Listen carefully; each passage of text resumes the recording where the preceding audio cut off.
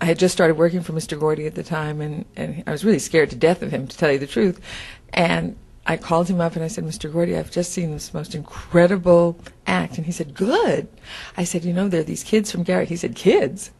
I don't want any kids. Do you know how much trouble it is with Stevie Wonder and that teacher, welfare worker, and blah, blah? I don't want to see any kids. I said, But you really should see them. And he was like, No.